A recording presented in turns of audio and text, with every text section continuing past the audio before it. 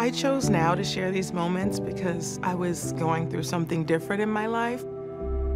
I always wanted to get it down in a documentary, so I can always say to my daughter, like, Olympia, look at all these moments, and it's professionally shot. You know, I had my own selfish reasons, and then it just grew bigger.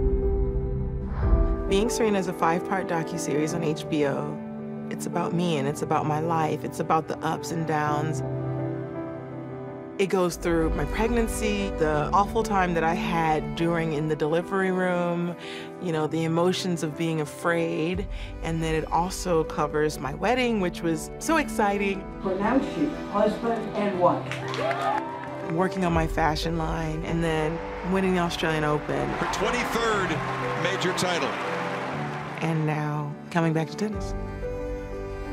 It's really just following me around and seeing a new side because a lot of people see me on the tennis court and they see me like this fierce person, you know, always pumping my fist and, you know, so emotional on the court and there's a lot more to me.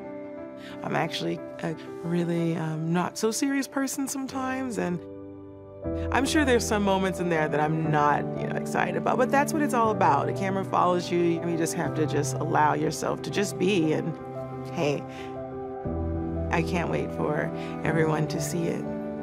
This is my everyday life. And this is just me being Serena.